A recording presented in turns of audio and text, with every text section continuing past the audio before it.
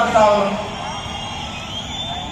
ఇప్పటి వరకు ఈ ఆక్వా రైతులకు ఆక్వా జోన్లలో ఉన్న ఆక్వా రైతులకందరికీ కూడా మంచి జయనిస్తూ వాళ్ళందరి తరఫున నిలబడి అక్షరాల ఈ ఆక్వా రైతులకు రెండు వేల తొమ్మిది వందల అరవై ఏడు కోట్ల రూపాయల సబ్సిడీని పేరుపాలించాము అని చెప్పి. పంపించేది ఈజీ సార్ ఇప్పుడు. చాలా ఈజీగా.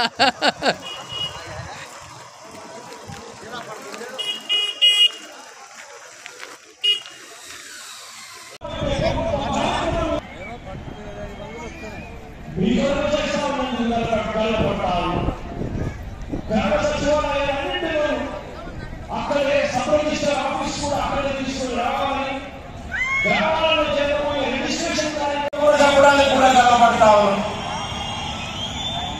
ఇప్పటి వరకు ఈ ఆక్వా రైతులకు ఆక్వా జోన్లలో ఉన్న ఆక్వా రైతులకందరికీ కూడా మంచి జయనిస్తూ వాళ్ళందరి తరఫున నిలబడి అక్షరాల ఈ ఆక్వా రైతులకు రెండు వేల తొమ్మిది వందల అరవై ఏడు కోట్ల రూపాయల సబ్సిడీని పేరుపాలించాము అని చెప్పి.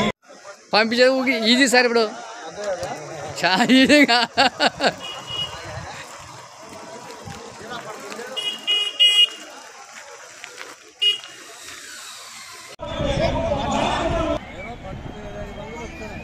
మీరెవరు చేస్తా ఉన్నది గల్లపట్టాలు గ్రామ